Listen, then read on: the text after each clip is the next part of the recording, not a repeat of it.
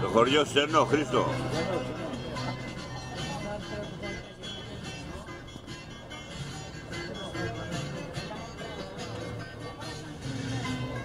Το χωριό στενό, ρε.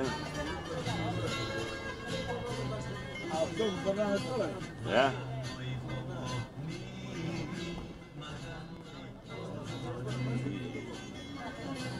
Στενό Κορινθίας. Ορεινής Κορινθίας. Στενό. Έλα.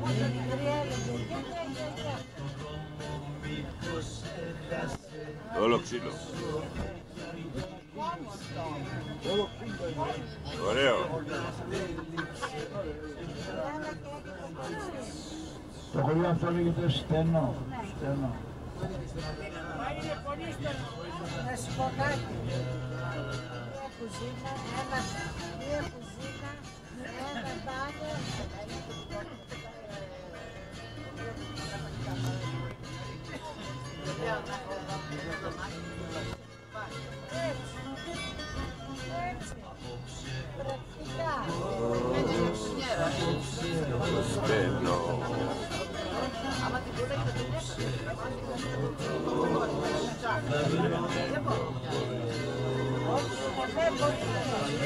Μόνο τα χαλιά, τα μεγάλα χαλιά.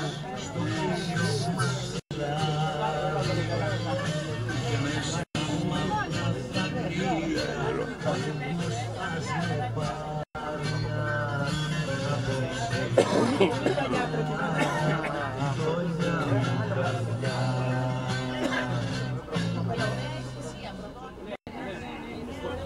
ναι, ενώ δεν είναι παλιά.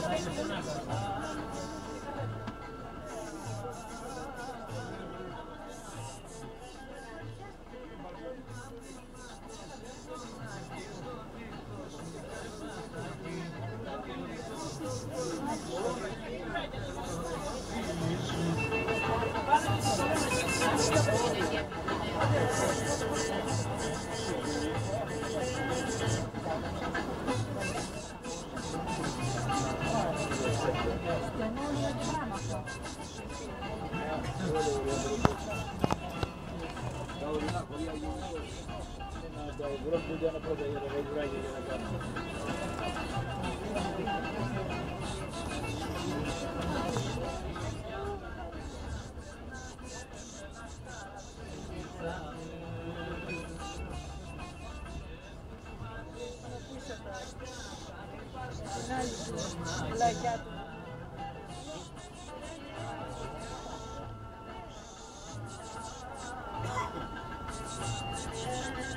Thank you.